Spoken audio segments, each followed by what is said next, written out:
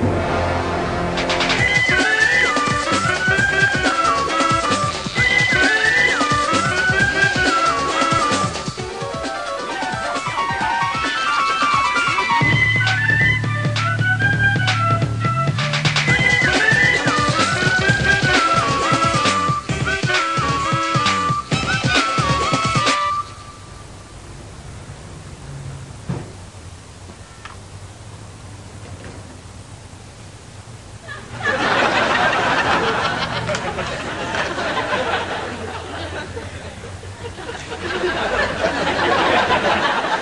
this is the best thing for a loose tooth. My dad used to do this to me all the time.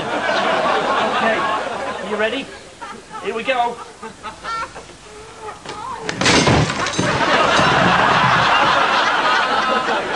I don't think that one's ready to come out yet. Howdy, Tim. Mandy says meet her at Epsom Clock Tower by sundown. Y'all make sure you're there. What was that? It was a text message.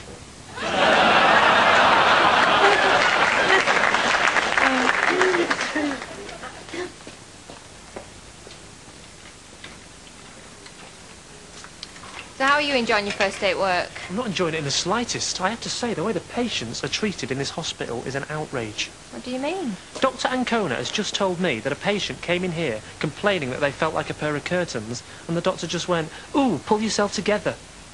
The way people are treated in this country with mental illnesses is just disgraceful. I think she was telling you a joke. It's not true. Joke? All right, maybe that was a joke, but she also told me that someone came in saying they only had three minutes to live, and the doctor just went, oh, I'll boil you an egg.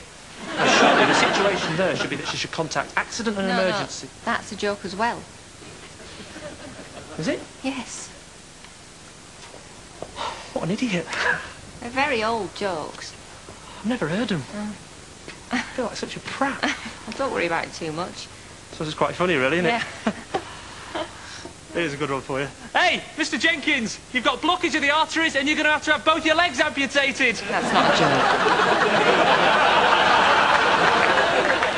You packed this case yourself, sir? Yes, Are you absolutely certain about that? absolutely certain. There's no way someone could have slipped something in there. No way at all. You haven't left it unattended for any length of time. No, it's been by my side from the moment I packed it to the moment you brought me in here. Nobody has touched this case except me. I decided what to put in it. Everything in it belongs to me. You're sure? Totally sure. May I have a look inside it, please, I'd sir? rather you didn't. Why not? It's full of drugs. Ladies and gentlemen, the Eagle has landed.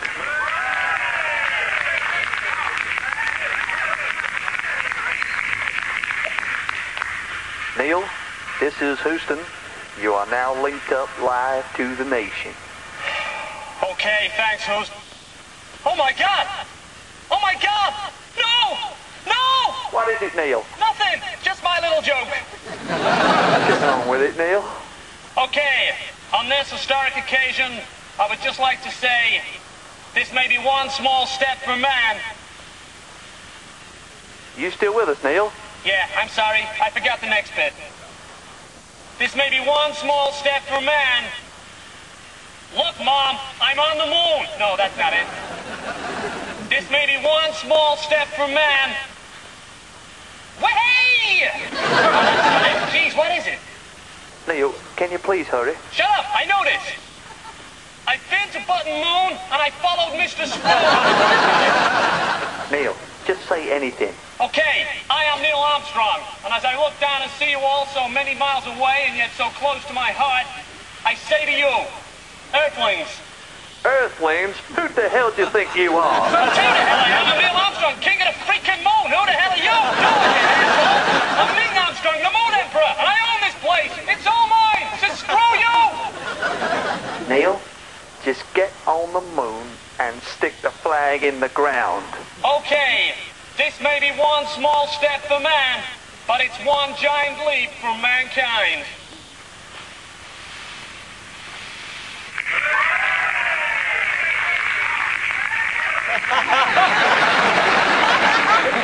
Houston, we have a problem.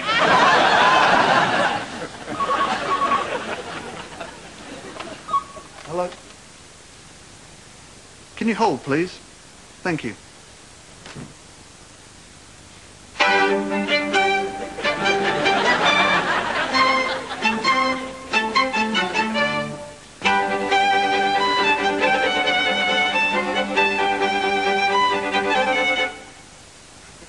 Please hold. Your call is important to us.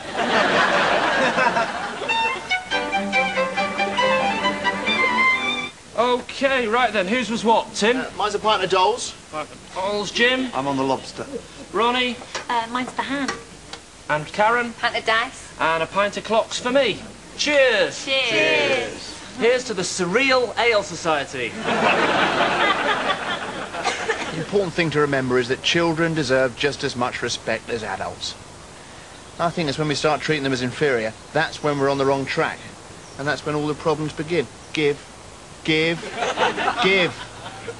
You know, I think some parents are so wrapped up in their own world they can't see the mistakes they're making. Fetch. It's sad, because children deserve a lot better than that.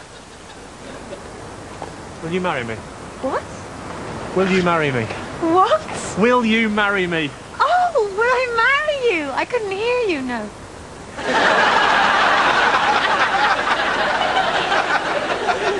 Is it all right if I bring on my travelling chess set? Yeah, of course it is. Come on.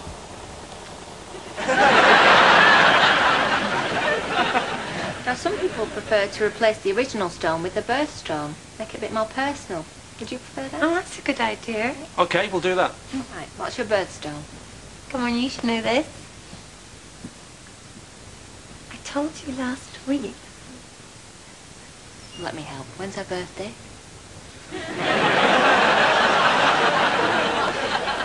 well, it doesn't have to be the exact date, just the month. Maybe you should go for a necklace instead. That's a good idea. What do you say? Yeah, right, whatever. Well, we could get that engraved, make that more personal. Okay. What's the name?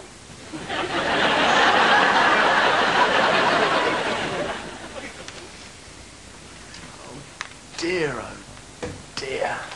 What's the matter, Tim? Oh, hi. uh, I just can't decide whether to marry Debbie or not. I can't seem to make a decision one way or the other. Well, what are you doing to help you come to a decision?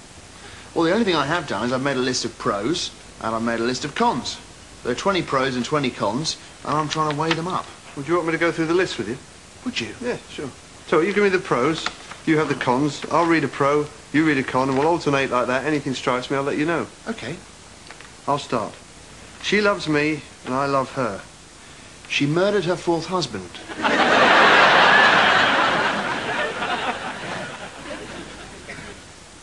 There you go. Daddy, will you tell me a bedtime story? Of course I will. Once upon a time, there was a man called Freddy Krueger. I'll do it.